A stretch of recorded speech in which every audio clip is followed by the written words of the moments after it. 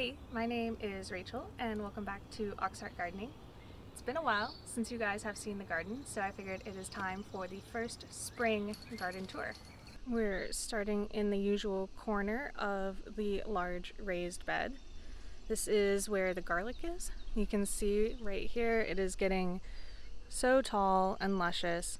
There's maybe a few brown tips, but overall this stuff looks really, really good. I'm pretty excited about the garlic harvest this year. I actually planted the correct variety. Last year I accidentally planted, oh that's a, that's a Cada.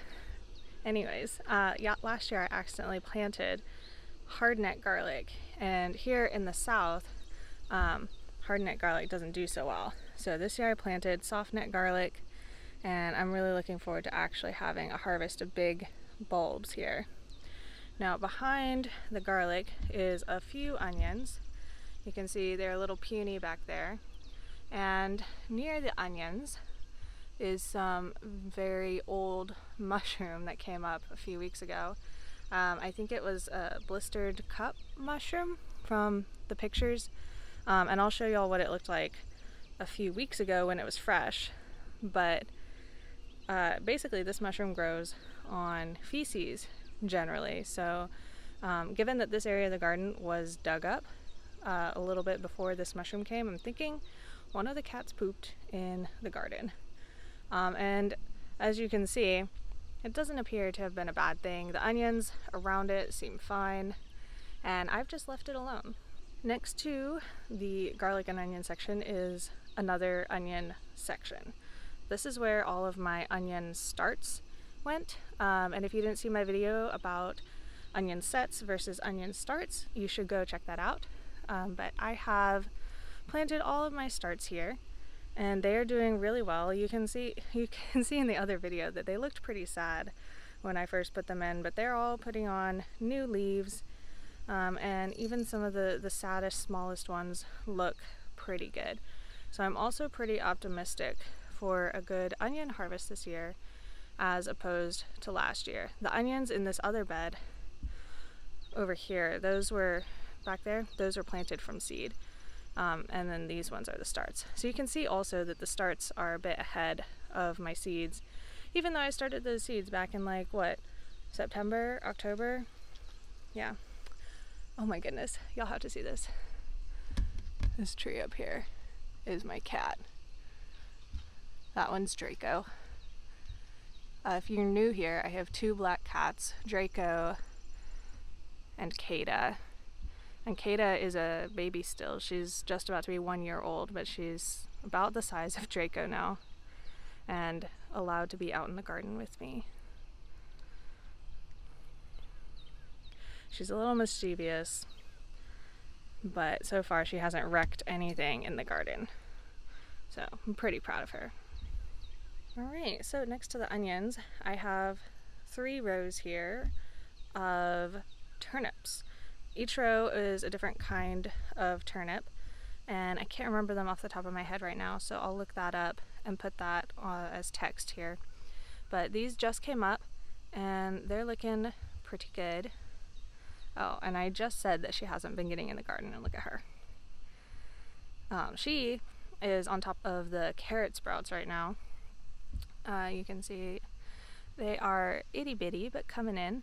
I planted a lot of seeds here because I've had trouble getting carrots to germinate in the past, uh, but it looks like I'm gonna have a right amount for this space this time around. All right, and then I have five rows here, and from left to right I have parsnips, two kinds of rutabagas, and two kinds of radishes. Again, I'm not entirely sure which varieties, but I do think I messed up here with the arrangement of my rows because if you know, radishes will be done way before rutabagas will. So I really, instead of doing two and two, I should have done every other because the radishes will pull while the, turn, uh, the rutabagas are still small and then the rutabagas would have had a little bit of extra room to grow up. But you know, live and learn. Um, next to that is what used to be eight kale plants and is now two and a half kale plants. Um, these kale plants came to me from uh, the Experimental Farm Network, and they are supposed to be kaleidoscope kale. So every kale um, is going to be a different kind of phenotype because it's not yet really a super stable genetic line. So I was pretty excited about that. And um, only two of my eight transplants survived. But at least I got two. And so those of you who follow me pretty closely might realize that this garden layout is very different than what I had presented in my plan for the garden this year. And that is because um, I was already planning on moving this year, but my move out date got moved up to the beginning of the summer rather than the end of the summer. And so, in order to take advantage of my space and not plant a bunch of baby plants here that would just get left as soon as I move, my move out date is in the middle of May, which is right about when you would start planting out peppers in this area. Tomatoes would go in about a month earlier than that.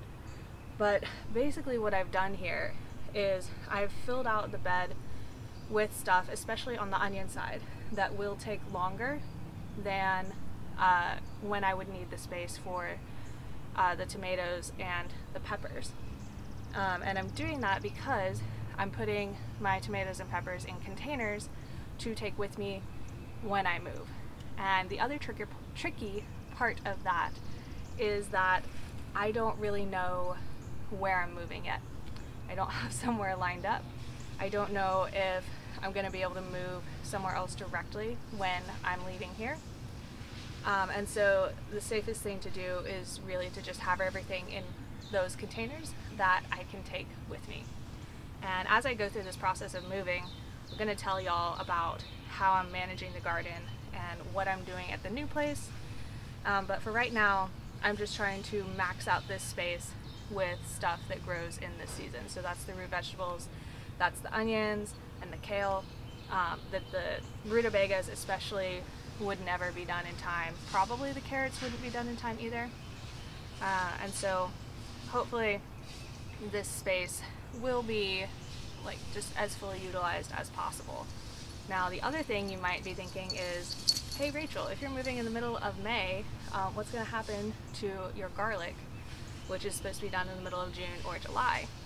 Well, since uh, my current roommate is not moving out, uh, I'll hopefully be able to come back when those are ready and harvest them.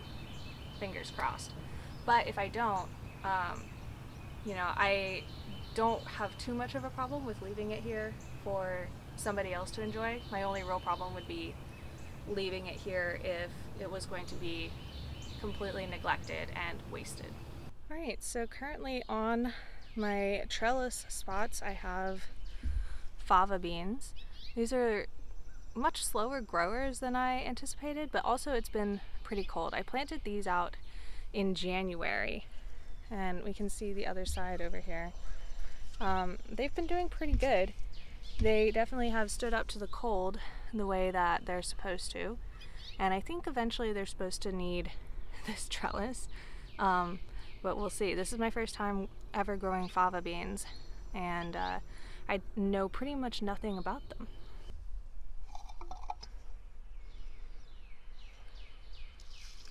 Over here in the smaller raised bed, I have some carrots that were planted in the fall that I still haven't picked. Um, I have my giant sage plant that is always there, always beautiful. Um, and I put a few of the extra onions in here that I, these ones are ones that I grown from seed. And uh, that's another Cata. um, and these ones are also very puny, you can see, but they're alive. And, um, you know, at this point, there's no point in moving them. We'll see what happens. Um, additionally, you'll see this, this one here in the back. That is a garlic coming back up that never got removed from last year. And this one is an onion coming back that got left from last year, which I find highly interesting. So if you didn't know, garlic and onions are bulbs kind of the same way your like flower bulbs in your front bed are bulbs.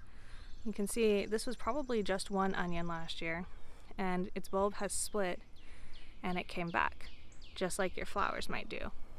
Uh, and so I'm really interested to see if this will bulb up normally because um, you don't really see people trying to grow uh, like second year onions this way, right? Um, so I'm really interested to see if this will bulb up like a normal onion, if it'll only ever be this. And the same with my little garlic over here. You can see it has split. It is still small, but you know, we'll see. Interesting experiments. My carrots here, I've been pulling as time goes. They never really got that big, but now that it started to warm up, they're definitely putting out new growth. So maybe they will start growing again. But I have a feeling since they're like pretty old carrots at this point, they're gonna start, the texture is gonna start suffering. But I don't know, we'll see. Something else I did was I took some little lettuces from my mm, like my mini greens salad bag grower thing and I like scooped them out and put them in here where they would have ample room to grow. There's a couple more back there. And uh, theoretically, I think these should get really big. Um, so far, they are only kind of keeping up with the stuff in the bag. But we'll see. Again, this is an experiment. This is something I've been told that other people do. And we'll see how well it works for me. Here is that bag in question, by the way. You can see the bare spots where I've pulled stuff out. But all in all, this looks so healthy. This was a really good solution for me for salad greens over the winter. And again, now that it's warming up, they're getting huge, even though they are packed really close together. All right, and before we go in the yard, we're gonna step inside the greenhouse and I just want to warn you that it's going to be a little sad. We have here some very dead tomatoes and this is what happens when you transplant all of your tomato seedlings the day before you go off to Florida for 10 days. I did have somebody in here um, who was supposed to water, but I think, you know, just without somebody being able to come every single day, and look after them, they just got crispy. So, you know, it's a bit of a loss. That's not a tomato. It's a bit of a loss, but but I was planning on selling these at the farmers market anyway. And I found out recently that that doesn't start until May instead of April like I originally thought, which means that these seedlings were going to be way ahead of time already. Like I wasn't planning on moving them out of these little cups. So this might actually be a blessing in disguise because I was about to have way too big of tomato plants on my hands and now restarting them a couple of days ago like I did is gonna make them be actually just about the perfect size. So I'm not too torn up about it really. So I also have moved my basil seedlings outside and these have just recently been cut um, they were getting very, very tall while I was gone, and basil, if you didn't know, uh, along the stem it splits every so often, right? And when you clip it right above a split, it basically will grow out these two as if they were main stems, and your plant will bush out. And so, since these were getting tall, and a lot of these are getting sold at the farmer's market as well, um, these got chopped and hopefully they will bush out and be really attractive to the people at the farmer's market. Um, and with the tops, what I did was I made myself a little pesto because that's what you do. and uh, you see I have some lemon basil, some lime basil back here. I've never grown these before, but it turns out they're really great in pesto. They literally taste citrusy. And since you're putting lemon juice in your pesto anyway most of the time, it was just a really, really great addition. Now, this cinnamon basil here, um, it's got a little bit more jagged leaves than some of the others, but I don't actually yet know what to do with that. I cut some, I put it in the freezer, and I'm not really sure what to put it in. I grew it because it sounded cool. Have y'all done that before? Um, anyways, if y'all know what to do with cinnamon basil, I'm open to suggestions and if I like them, maybe I'll make a video about it.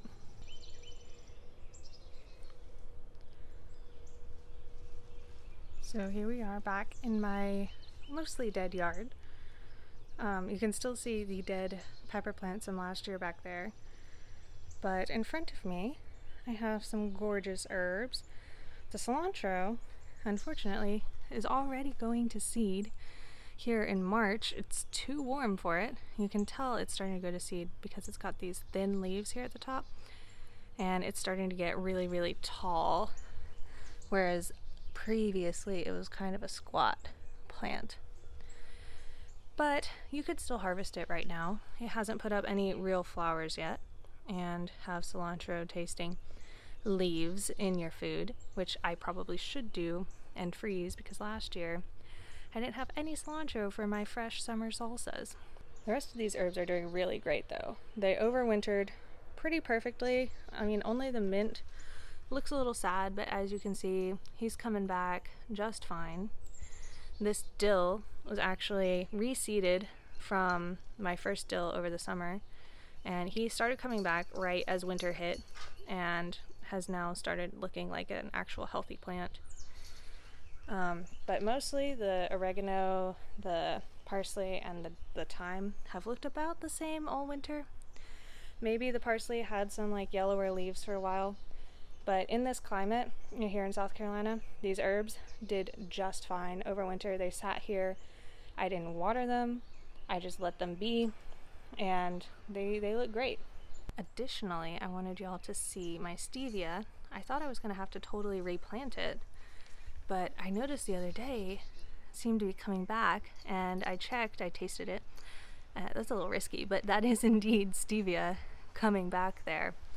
Um, so it turns out I don't have to reseed it at all, which is really nice. I didn't know it would come back, but it definitely, you can see it looked like it completely died off during the winter. And again, I did nothing to it, I just let it be here. So I have also some onions in containers back here. Back when I thought that I was going to be doing my original garden plan, I had extra onion starts that I had grown from seed and I didn't have room for them. And so I just stuck them in some pots. And these actually look like pretty pretty good compared to some of my other starts. Even though I didn't exactly do anything to the used soil before I put them in, because it was more of a just like if they grow, they grow kind of situation for me. But these look great. Um, probably to get some good onions out of these as well. And even if I can't come back for the ones that are in the ground right now, at least I can take these with me. So last but not least, I wanted to update you guys on all of the plant babies. The plant babies are doing pretty well considering, uh, again, I was gone for 10 days and they didn't really have anybody to take care of them um, except for once or twice. But everybody's looking really good. Um, although I do have what I think is a bit of an aphid problem on my peppers. And I've had this problem also on the pepper that I brought indoors from last year. Um, and the, the problem seems to have spread. And I'm not really sure what to do about it. I kind of just keep squishing them when I see them but I'm hoping when they go outdoors that natural predators will kind of just take care of this all themselves. Also need to update you guys on my single seed challenge pepper. Again, this is a jigsaw pepper, so it's going to have really interesting leaves. And uh, I think I'm actually going to end up topping this pepper soon. Um, and that'll be a whole video, the topping of the peppers. But basically, what you end up doing. You see, similar to the basil, how it is splitting here. And so if you cut it, then these become main stems.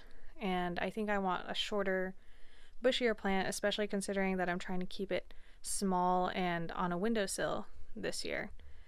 So uh, that's the update on that beautiful pepper. You can see all of my uh, flowers and herbs are also doing really well.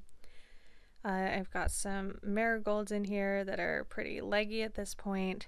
Um, my uh, marshmallow is getting a little out of hand, um, and the eggplants are also looking pretty healthy.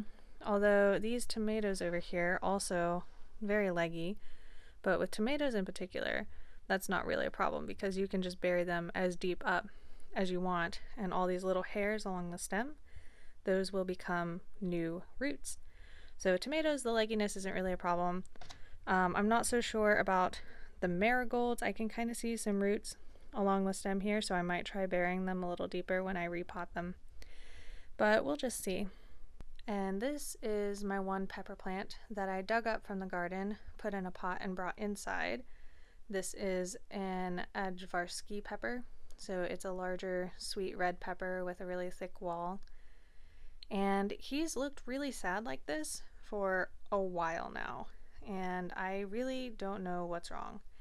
Um, he has had the aphid problem, but you know, I wouldn't think that it would cause him to look this sick. I've tried fertilizing, and he's still just putting out um, flowers like crazy.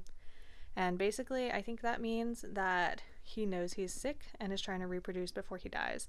So I keep pulling the flowers off of him, hoping that he's not going to just reproduce and die. Um, and there's only only a couple more months until he can go back outside, and maybe he'll get happier then, and I can pot him into some fresh potting soil at that point. Now, his friend, the Tabasco plant, is doing amazing. Look at that lush greenery. This one did not have to be dug up, it was already in this pot. And if you look really closely here at the bottom, you can kind of see the original plant here. Um, and all of this is basically new growth over the winter. Um, and so I am pretty happy with this Tabasco and hoping I'll have a head start on the hot pepper production this year. Alrighty, guys, well, that is all I have for you today. Thank you so much for hanging out with me, looking at the garden. Also, before I go, um, while I was in Florida, I reached 1,000 subscribers. Yay! And uh, thank you guys so much. Again, I cannot express how positive this community has been for me. I have not gotten one mean comment the whole time I've been on YouTube. Um, I've gotten a few creepy ones, but nobody's been mean to me. And um, all of you have just been so supportive, and I'm so happy to be able to finally make back a little bit of money from ads to be able to grow the garden even better this year. So, thank you guys so much, and I'll see you next time. Happy gardening.